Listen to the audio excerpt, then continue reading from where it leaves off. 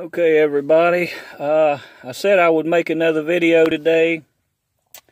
I'm kind of stuck out on a job, so since I said I would make it, release it, I'm gonna do it in my truck. Uh, gotta apologize because I'm I'm left without a lot of notes and, and material that I wanted to add to this. So I'm kind of just improvising, and I may make another video later with regards to all this same information just so it's more clear and concise. So, in doing these videos, I want to keep them as short as possible so as not to overwhelm anyone and give you a chance to fact check me with current events and especially with the scripture because God is the Word and the Word is with Him. John chapter 1. Jesus points out all through his word that many things will be hidden and sealed up until he appoints his two witnesses. Revelations 11, chapter 3. He also explains about speaking and teaching in parables and its importance in Matthew chapter 13, and especially beginning at verse 13. He's explaining in these things that basically, if everything was laid out clear in absolute sequence, then Satan and all the false prophets would better know how to manipulate and hide away the proof of God's omnipotence and the Word. He points out in Matthew chapter 10, verse 16, to be wise as serpents, because the serpent, Satan, isn't ordinary in any way. You got to understand, he was the first angel created before all other angels, before the earth, and even before mankind. Satan has great power and authority as it points out in Revelations chapter 13 verse 2. This is also shown in Matthew 4 when Satan tries to tempt Christ. With all that understand, you begin to see this is why only through Christ and his word can you see through Satan's lies, deceit, and his workings on earth against mankind. Satan is very good at hiding his work, but has one major flaw his pride, which is exactly what got him cast out of heaven. His pride makes him put his mark on what he does, the mark of the beast. He has many ways to do this, but I'm going to show you just this one for now because its importance and for the disbelievers and naysayers because after my last video some people said we couldn't be at Revelations 18 because all these other things haven't happened yet including the mark of the beast. And again I'll refer you back to chapter Matthew chapter 13. Your eyes see without seeing saith the Lord and it is hidden away and sealed up until the time he appoints his witnesses. Revelations 11, verse 3. Get ready. This is one of those things that will make the whole world hate me, just as said in Revelations chapter 11. Where do you hold your cell phone? Of course, in your right hand, or most people at least. And where do you put it when you talk on it? Up to your head, or at least some type of Bluetooth device, even if it's just an earpiece, which is also processed by your frontal lobe located in your forehead. So you end up with your Bluetooth symbol. And this is going to be one of your major marks of the beast. So now let me elaborate. The so-called inventor, instead of putting his name on his supposed creation, to use this symbol, he claim, claims to represent the initials of the 10th century Danish king Harold Gormsson, which would be the initials H and a G. But instead of using the G, he replaced it with a B that was supposedly to represent his nickname, Harold Bluetooth. So he claims. This nickname was never confirmed, by the way. He then goes further to decide to use ancient runes language and letters and symbols. So you end up with the H in ancient rune, runes. That's your H symbol in ancient runes. And it actually means serpent. And then you end up with your B, which he says stands for the Bluetooth that was never confirmed. And that's your B. This little area right here, that's your B.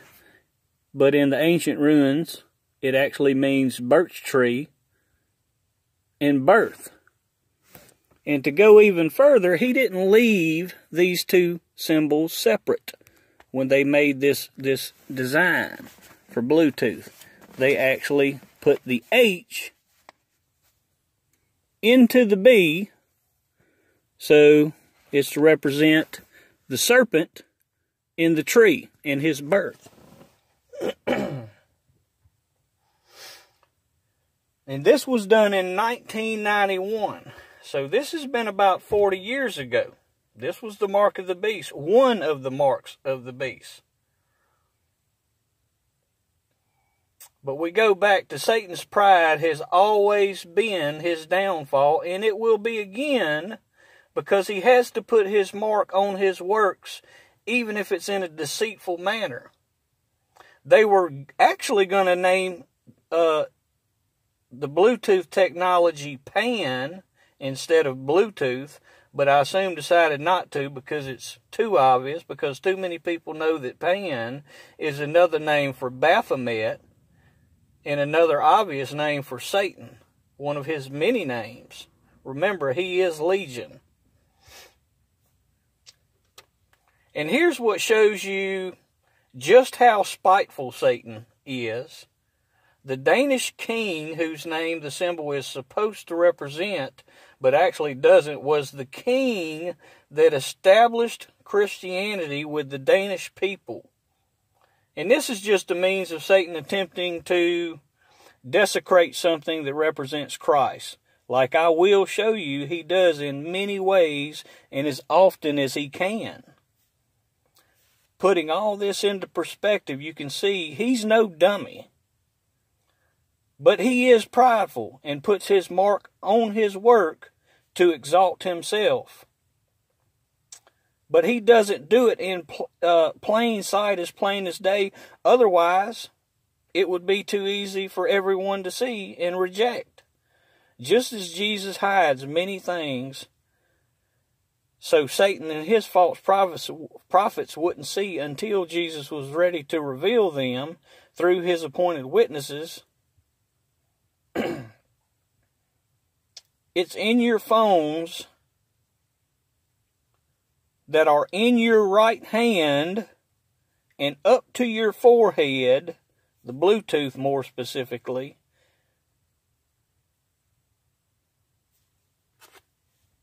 And seeing now that everyone is using their phones with the Bluetooth connectivity to buy and sell, just as stated in Revelations chapter 13, verse 17, it's making cash and debit cards with their chips even irrelevant. And soon, you will only be able to buy and sell with your phone and Bluetooth. So for all that that say it can't be the time that I say it is, I say to you just because you don't see that these things have happened doesn't mean they haven't already happened. God points out that you're not supposed to see them until He's ready for you to see them. Another way to put it is you don't know what you don't know because it's on unknown to you. With all this being revealed, I compel you to look all of this up yourselves. Please fact check me. Look up ancient runes and their symbols and find these symbols for yourselves. And look up the Bluetooth symbol. Why they named it this.